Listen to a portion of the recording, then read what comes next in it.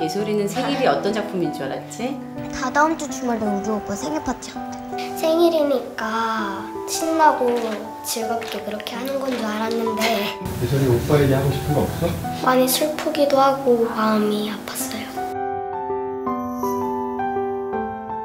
당신은 그게 왜 하고 싶어? 순남은 아들의 죽음이 현실적으로 기정사실화 되는 것들을 거부했던 것 같아요. 그녀만의 방식으로 아들의 빈 자리를 채우면서 떠나보내지 못한 것 같아요, 마음에서. 모든 사람들이 수호를 기억하고 수호에 대한 슬픔을 같이 나누고 할 용기가 없었던 것 같아요. 그냥 튕겨져 나온다고 표현해야 되나?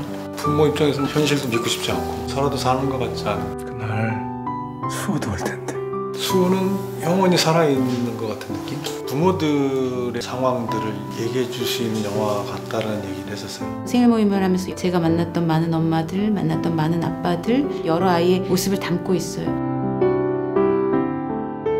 가까운 나의 가족, 친구, 나의 이웃일 수도 있는 지금 순간들에 대한 이야기일 수도 있을 것 같아요. 이 부부를 통해서 그분들의 하고 싶은 말들이 전달이 됐으면 작게라도 한 발자국 앞으로 다가갈 수 있지 않나. 계속 진행형인 것 같아요